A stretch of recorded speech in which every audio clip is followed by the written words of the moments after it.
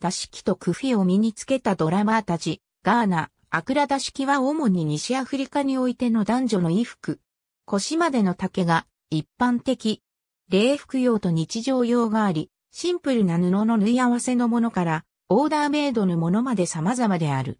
ゆったりしたプルオーバー型のものがよく見られ、飾りのある V ネックに刺繍で仕立てられた襟袖のラインが特徴的。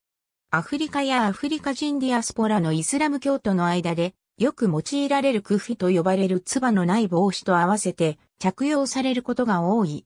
ダシキという呼び名は、ハウサ語でシャツという意味のダンチッキーに由来する。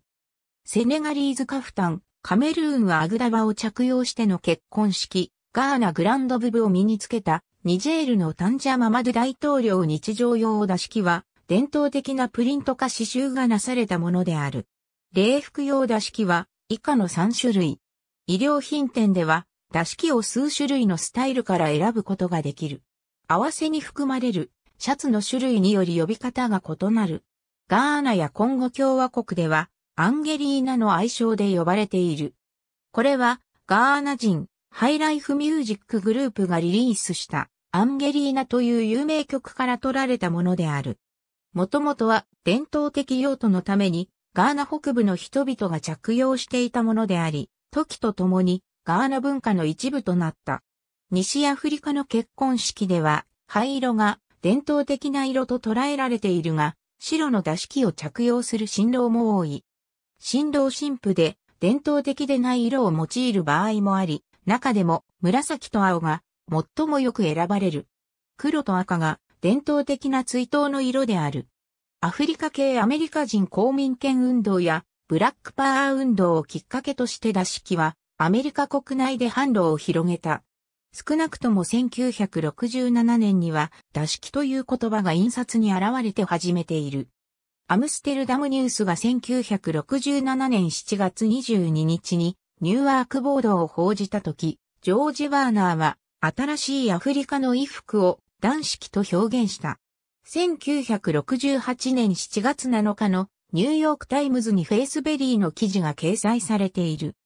ダシキという表記はウェブスター辞典カレッジ版第一版において正式に登場し、ジェイ・ベニングが1967年にその言葉を初めて使用したものを引用している。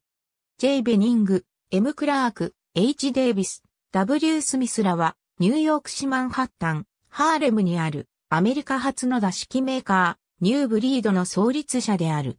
その後ダシキはアップタイト、パットニー・スウォープ等の映画、またテレビ番組、ソウルトレインに登場する。ジム・ブラウン、ウィルト・チェンバレン、サミー・デイビス・ジュニア、そしてビル・ラッセルらはトークショーでダシキを着用して出演した有名、アフリカ系アメリカ人アスリートまたエンターテイナーの一員である。またヒッピーの人々もカウンターカルチャーの価値の表現手段としてダシキをワードローブに集めた。元コロンビア特別区市長、議会議員のマリオン・バリーは選挙の際にダシキを身につけて当選したことで知られている。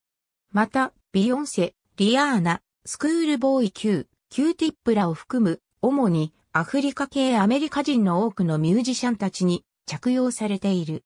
ブラックパンサー等の指導者、フレッド・ハンプトンは、アフリカ系アメリカ人事業主について1969年の演説、人民あるところに力ありの中でこう取り上げた。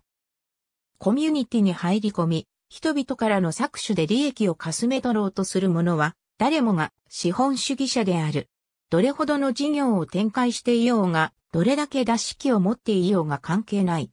政治的権力は出し機の袖口からではなく、重厚から流れ出るものだからである。フランク・ザッパは1981年の曲、You are what you is で、コーカソイドの外見と文化に近づく努力の結果として、ジョルダッシュのジーンズのために出し機を売ったアフリカ系アメリカ人男性について歌っている。ありがとうございます。